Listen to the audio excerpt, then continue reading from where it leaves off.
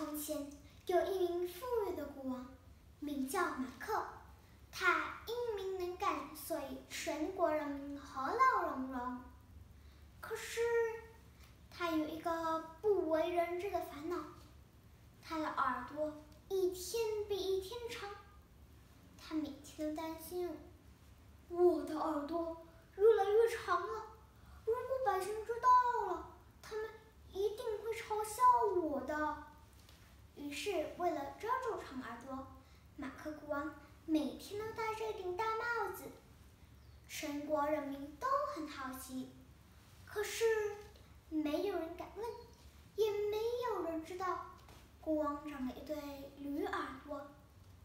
有一天，国王发现自己的头发太长了，便请了全国最守信的理发师来为他剪头发。理发师小心翼翼地脱下国王的帽子，看见国王的耳朵，吓得直发抖。国王对理发师说：“我要你发誓，绝对不把我长驴耳朵的秘密说出去。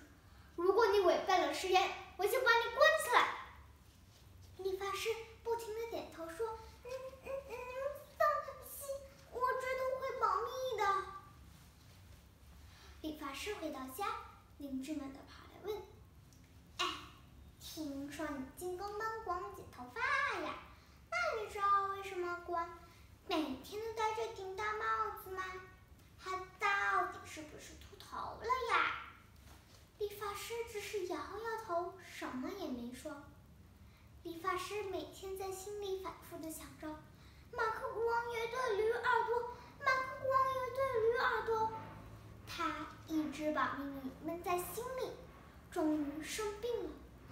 医生建议理发师：“你到深山去挖一个洞，对着洞口大声喊出藏在心中的秘密，病就会好了。”理发师照着医生的话去做。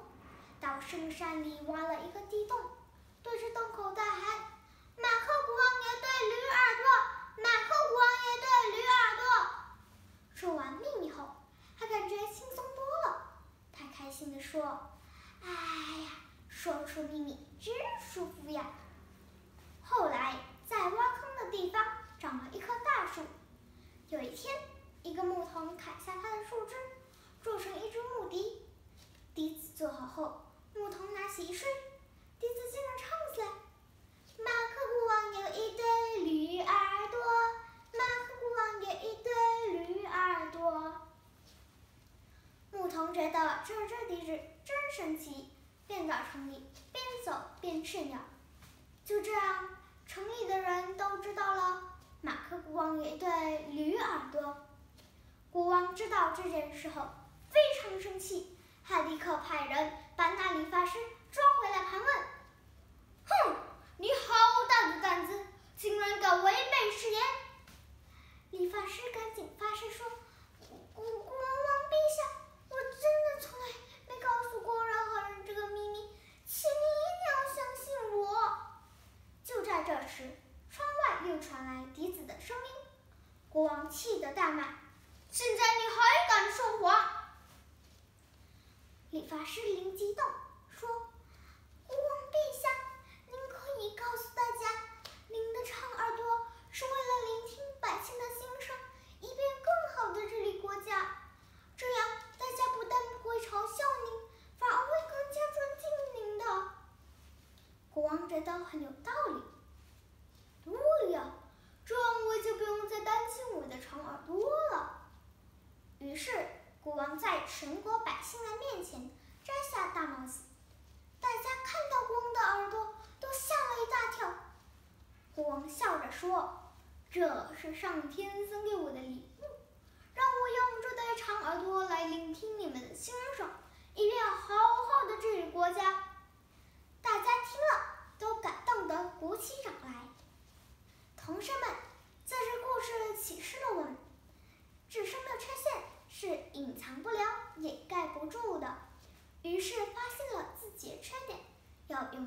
认识他并决心去克服这样我们的缺点才会得到尊重和谅解。